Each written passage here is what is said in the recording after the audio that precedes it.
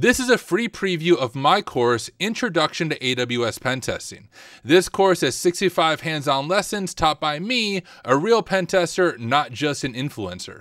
This course will take you from beginner level AWS knowledge to intermediate AWS pen testing knowledge. If you want to get a taste for the quality of my course, check out this module on Lambda enumeration, where I show you how to enumerate Lambda functions from the CLI and from Paku. If you want to see the entire course, course, the link is in the description of this video.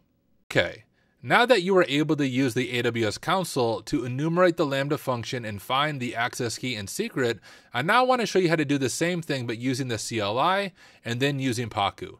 As I shared in the previous video, as a hacker, you need to be able to do the same job function, but in multiple different ways because often your favorite tool or your favorite method is going to fail you in the very moment that you need it. So let me go ahead and show you how to do this using the AWS CLI or the AWS command line interface. Now, when we launched our Cloud Goat scenario, you were provided with an access key and a secret for a username Solus or Solus. I don't know how I'm supposed to say that. Let's go ahead and first configure these as a profile with the AWS CLI. We're going to open up our terminal, and this command should be familiar to you by now. We've used it a few different times as we've been working through this course, but we need to do AWS configure profile, whoops, Solus. It's going to ask us for an access key ID. Let me go ahead and copy that. It's going to ask us for our secret access key. Let me copy that.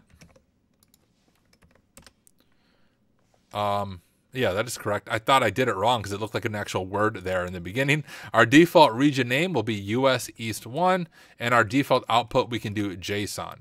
Now remember, when you're working with the AWS CLI, the first thing you want to run is making sure that credentials are actually valid. Now in Linux, to see who you are, it's really simple. You do who am I, but in AWS, it's more confusing. Now I told you you would have this command memorized by the end of the course. Do you have it memorized yet? Pause the video and try to figure out who you are, run that very basic who am I command in AWS, and give it a shot. All right, hopefully you tried it and you unpause the video, but this is how you run that who am I command. You will have this memorized if you don't have it memorized now.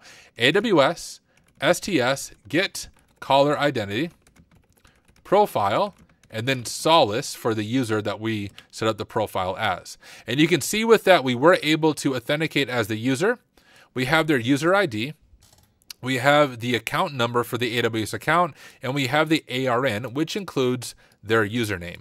Let's go ahead and grab this and add it to our notes.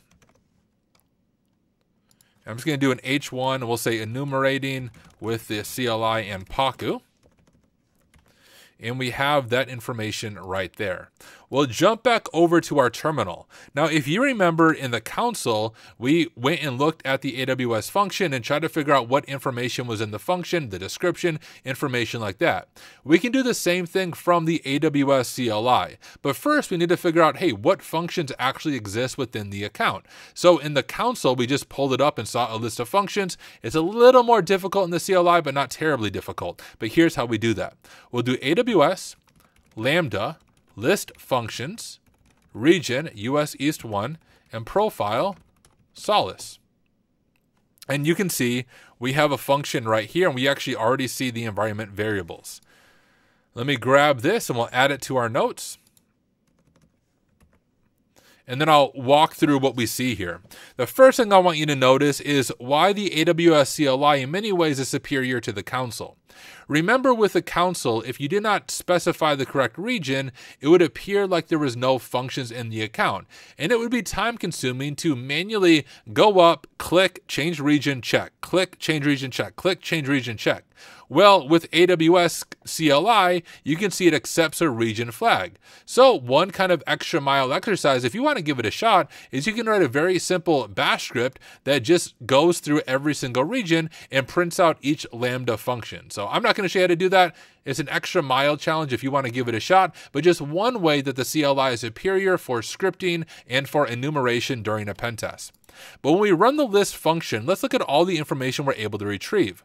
We're able to retrieve first the function name, which we also saw in the console. We're also able to receive the function ARN or the unique identifier in the AWS account. We have the runtime of Python 3.11. We have the role. Which shows us a role is attached to it. Remember in the beginning when we were going through our slides, I talked about an execution role. That's what we see going on here. This Lambda function has a role attached to it. So one question to ask as a pen tester is what permissions does this role have? We have our handler of the Lambda handler. That's just basic default stuff code size, we have the description. Now, this is a CTF, so not as useful to us, but in the real world, descriptions might be super helpful, seeing what the Lambda functions are actually used for.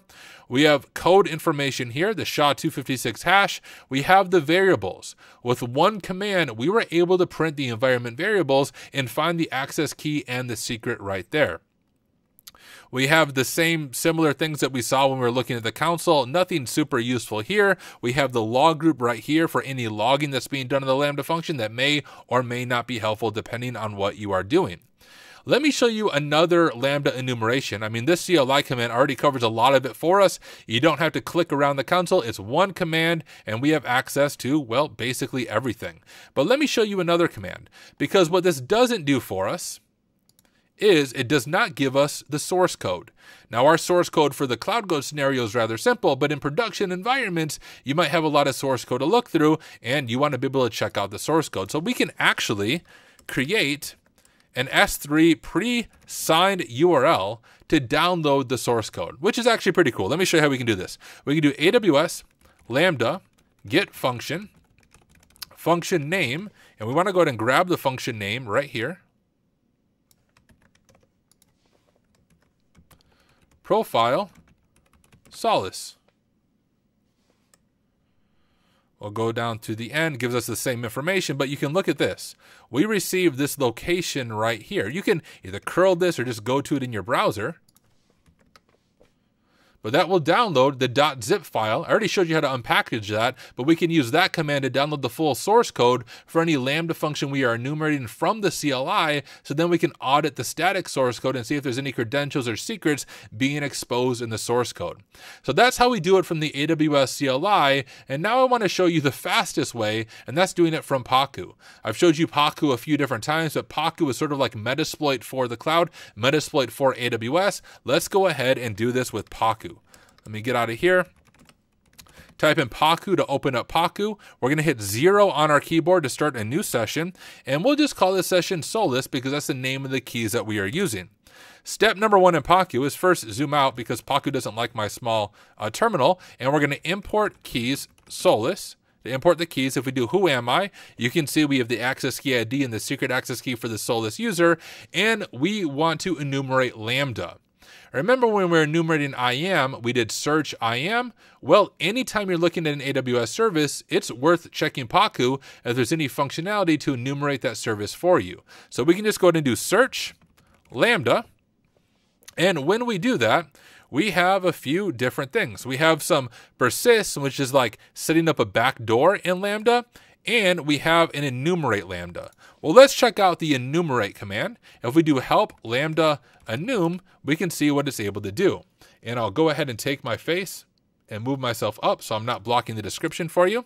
But it says this module pulls data related to Lambda function source code aliases, event source mappings, versions, tags, and policies, which sure does seem helpful.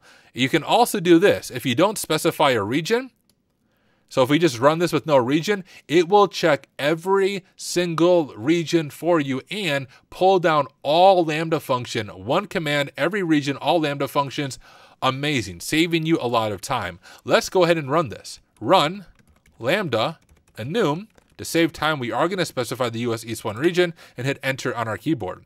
You can see this. This is how cool Paku is. It go ahead, it enumerates it and it discovers, hey, I found two secrets for you right? We didn't have to find it manually. Uh, Pacu has a secret finder built into it that looks for potentially secret strings. And when it finds it, it prints it out to the terminal for you. So just running this command, we immediately find those two secrets. And if we want to see more information about it, we can actually query the Paku, data, the Pacu database by doing this. If we type data, lambda, you can see we have all the information that we have before, including the download URL in order for us to download the source code. So what took a lot of clicking around in the console and took a few commands using the CLI, with Pacu we run literally one command and it did everything for us, showing you the power of Paku. Now, if you haven't already, I want you to try that challenge lab next. I have just given you, or you found yourself, an access key ID and a secret key ID.